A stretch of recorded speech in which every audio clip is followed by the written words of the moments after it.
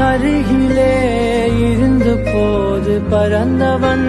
நீயல் தொலைவிலே பிரிந்த போது சிதைந்தவன் போகும் நாளே நாள்